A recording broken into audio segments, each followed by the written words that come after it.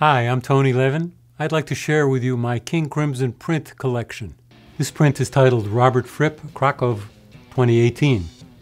It's probably my favorite of all of the pictures of the collection. It's taken at a sound check in Krakow before our concert, and uh, Robert is, as usual, you can see a pen in his left hand. He's making notes, and we're practicing, and I, I feel like we really captured really the nature of what Robert is like at the, before the performance. The 2018 incarnation of the band did a lot of touring in Europe, and I uh, was grabbing pictures of all of the seven guys. A lot of photos, a lot of opportunity, especially at soundcheck. And having done it night after night, or afternoon after afternoon, I got a sense of once in a while maybe having a chance to capture what somebody's really like and a little bit of what the life is really like. And so I treasure those pictures.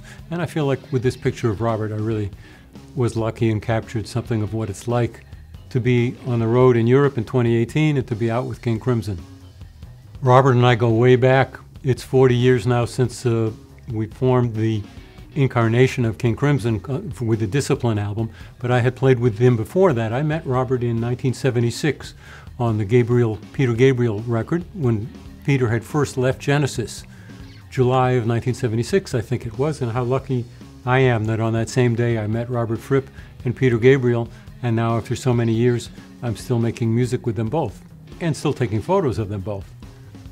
Uh, so we've had a long relationship, musical relationship and friendship, Robert and I, and uh, it's been very special.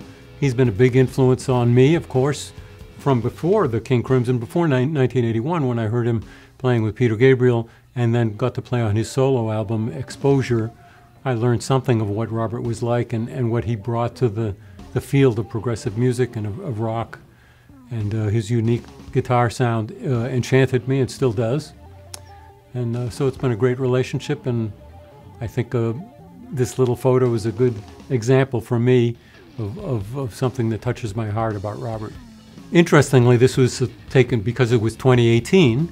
This was taken with a digital camera, and the uh, the challenges and the benefits of uh, pictures with that are, are, quite different nowadays than they were back in the 80s and the 90s when I was taking pictures with uh, on film and developing it in a darkroom.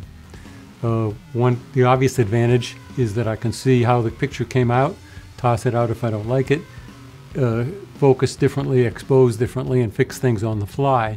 Couldn't do that with film. In fact, it was a big challenge in, especially in Europe, in the 80s when some of the other pictures were taken in this collection, uh, finding a place to get a 24 hour place, quote unquote, to get the black and white film developed. And they would give me, a, if I was lucky, a contact sheet of maybe the pictures I had taken the last few days. Then I would need a magnifying glass and I would need a, a loupe and look at those pictures and find out things like I'm not exposing it right or I'm not focusing right. This is a, a, a thing that was a little harder in those days and uh, it was pretty fraught. And then in the 90s, when I started to post the pictures online, that was a whole other world. And in the 90s, the way I, uh, it's kind of cute and quaint to, to put a picture on online on my website. In the 90s, I would take the picture in Europe, wait until I found a 24-hour developer, get the picture, then I would ship it to my webmaster who lived in uh, Orlando, Florida. He would scan it and he would put it up in the next day. So that would be about two, three weeks after I took the picture, and that we felt that was pretty fast.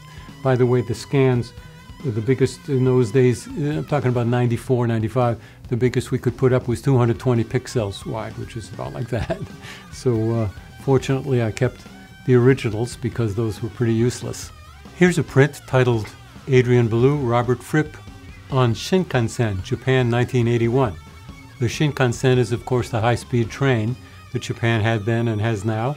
And we were enjoying on our first trip, that incarnation of King Crimson, our first tour of Japan, we were enjoying a high speed rail trip, probably from Tokyo to Osaka. It's one of my favorite pictures of, of the guys. I was taking pictures all the time of the band in all kinds of situations, and this one kind of captured something special about being in a foreign country and yet uh, Robert immersed in the English newspaper, and Adrian being Adrian, and uh, it's a pretty special picture to me.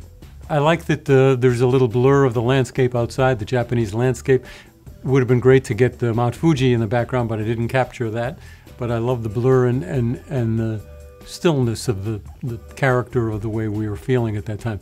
For King Crimson in 1981, Japan was one of the first places we toured, and uh, we were feeling very good about our new material, kind of radical new material, and it was a pleasure to bring it to Japan, kind of exciting, and uh, it, you can see from the, the look of the guys on the train, nice chance to relax in between gigs uh, on a long trip and, and an, an adventure to a new place.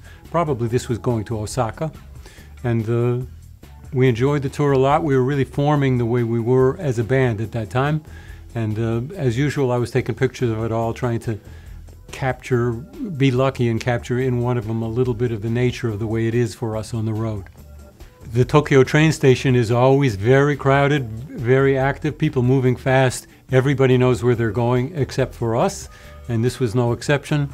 Huge crowds and crowds uh, that know where how to line up and how where on the platform to wait for the train it's really a trip and uh, uh, an adventure for any band, and it was for us for sure back in 1981. Every print is signed and numbered and comes with a certificate of authenticity. These are archive quality prints that will last for generations.